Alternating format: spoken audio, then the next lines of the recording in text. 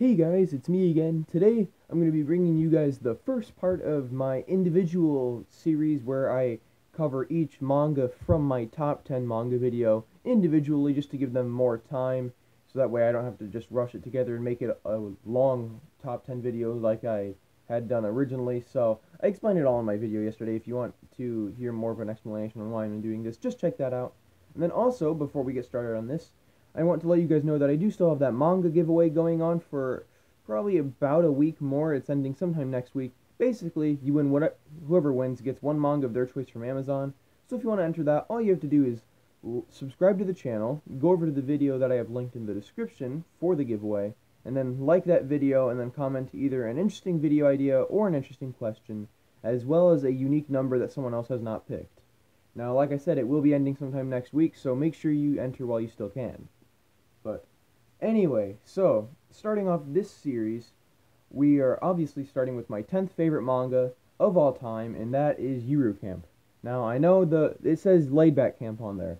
Well, I started this series with the anime, and the anime was called Yuru Camp, so I'm calling it Yuru Camp. Plus, that saves me like one second in saying the name, so one second, while it seems like a little, does add up after a while. Not not by much, but you know, it's enough. So yeah, Yuru Camp. Basically, it's it's a it's my first ever healing anime or manga, and I think it might be one of my only ones I've ever read or watched. And basically, that means nothing ever goes wrong in it. So you can watch this or read this, and you know you're not gonna get stressed out at all. Nothing's gonna give you any anxiety. You're not gonna get mad because something happened. You don't have to worry about anything. It's all just peaceful. Nothing bad happens ever. So that's pretty cool, and that's actually really fitting for a camping-based series because you know camping's supposed to be a pretty relaxed thing, and you know that fits the series very well.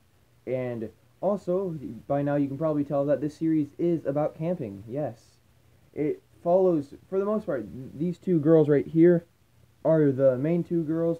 You've got Rin Shima and uh, whose name I don't, her last name I don't remember, and they are the two main characters and basically Rin right here goes solo camping, which is camping by yourself a lot, and then one day she happens to run into this girl here, the pink-haired one named Nadeshiko, and eventually, um, well, she helps her out because she's passed out on a park bench at midnight, and you know that's not too good, so she kind of helps her out, and then um, slowly but surely they start to form a friendship because after that time, they don't meet for a while, and then they realize they go to the same school, and Nadeshiko finds Rin again, and then they become friends, and then they start camping together, and they there's actually a club at their school that Rin doesn't want to join, but it's an outdoors club, so Nadeshiko, of course, joins that because thanks to Rin, she's now obsessed with camping, and, you know, then they all start to go camping together, and it's all cool, it's all fun. And I did mention that this has an anime. The anime only has one season with I think 12 episodes, I believe. Um, the manga I think goes past where the anime went by now. So who knows? Maybe if we're lucky, we'll get a season two. I think season one came out a couple years ago, so I guess uh, season two isn't too far fetched. So who knows? We can hold out for that. I know my friend Austin and I are. Uh, he he was actually saying one time that he wanted to get the DVDs, but he decided not to because he was gonna wait for season two because he's so convinced there'll be one. So hopefully he's right in saying that. And yeah, I remember this was the second anime that I binge watched from beginning to end with no breaks, and that was at his house that I did that. And I mentioned that yesterday in my top 10 overview video. And you know that wasn't even really difficult because for the most part I'm not the kind of person who can just sit there and binge watch a show from beginning to end without getting bored, but with this, you know, it's peaceful, it's relaxing, so I, and it was it's interesting too. So I had no problem doing that. And you know, I actually this series has been a big part of my life just because it's because of this series that I go camping. I I used to never really go camping just cuz I never really thought of it, but thanks to this series, I have a five-person tent. I have a mummy winter sleeping bag that can withstand up to down to 10 degrees. I have a camping stove. I have fuel for that. I have a cooking set and probably a few other things that I'm forgetting. And I go camping a decent amount with my friends. And yeah, it's a lot of fun. I my friends and I really enjoy it. We've had tons of fun doing that. uh, one thing I typically do is I'll even bring my computer, my laptop, as well as some anime DVDs, and we'll watch anime out there. And one idea I had is I want to get the DVD of this, so that way we can watch Yuru Camp while we're camping. So I'm working on that, and eventually I'll get to do that. And yeah, because that sounds like a lot of fun, watching an anime about camping while camping. That sounds pretty good. And yeah, no, if you guys have never camped, definitely try it.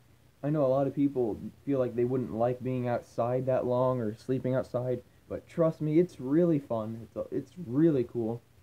And I haven't even been to an official campsite. I've just done it in a couple backyards. In my friend's grandparents' backyard, my grandparents' backyard.